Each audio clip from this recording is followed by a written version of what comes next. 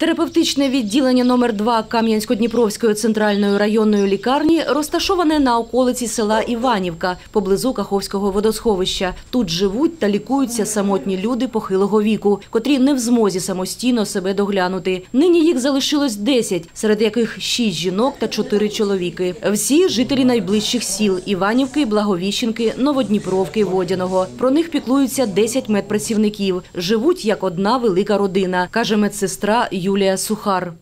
Здесь у нас постельная находится, ну то есть вот полотенце.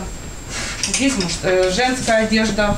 Стара будівля терапевтичного відділення потребує ремонту, каже Юлія. Але тут дбають і про чистоту приміщень, і про дотримання необхідних правил функціонування медзакладу. У каждого подписана своя коробочка, и мы им лично выдаем. То есть у больных таблеток нет.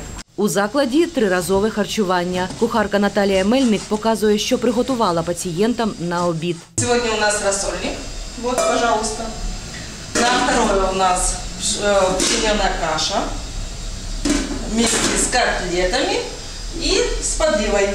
80-річного Олексія Кирилюка сюди з сусідньої Благовіщенки півроку тому привезла донька. Врятувала від грабіжника, каже дідусь, адже в селі у безпорадного чоловіка невідомі відбирали пенсію. Олексій Олексійович сліпий на обидва ока. На одному глаукома, на іншому катаракта. Дочка пожалела меня. И сюда Донька пожаліла мене і сюди відвезла, бо він обіцяв мене вбити. У інваліда другої групи Володимира Пархоменка важка форма нервового розладу. Звістка про те, що відділення розформують, загострила його хворобу, кажуть медсестри. Тепер чоловік планує повернутися додому, котрий покинув понад два роки тому. Там хтось живе? Ніхто не живе, В домі ніхто не живе? ніхто. А хтось за домом, за будинком вашим Сусіди, доглядає? да.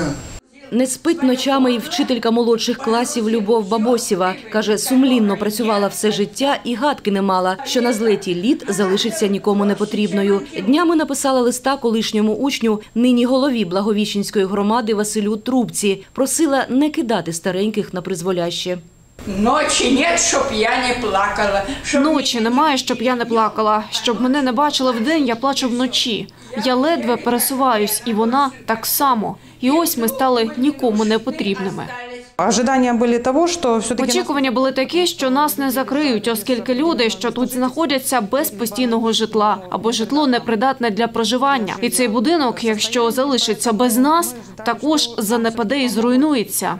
Медичні працівники разом із місцевими волонтерами намагалися зберегти відділення, звертались до різних інстанцій із проханням знайти кошти на його утримання. Однак безрезультатно. У Благовіщенській територіальній громаді, до якої три роки тому увійшла Іванівка, посилаються на недостатнє фінансування з боку держави. За словами голови сільради Василя Трубки, на капітальний ремонт відділення необхідно 5 мільйонів гривень, а на його утримання 2,5 мільйони щорічно. Через це вирішили не брати медзаклад на баланс громади. А зараз сплачують за комунальні послуги та зарплатню кочегарам. Це відділення існує з 96-го року, коли були закриті усі стаціонари по району.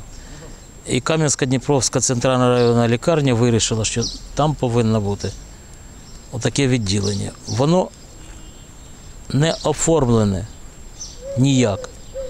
У лікарні хворий повинен знаходитися не більше трьох місяців.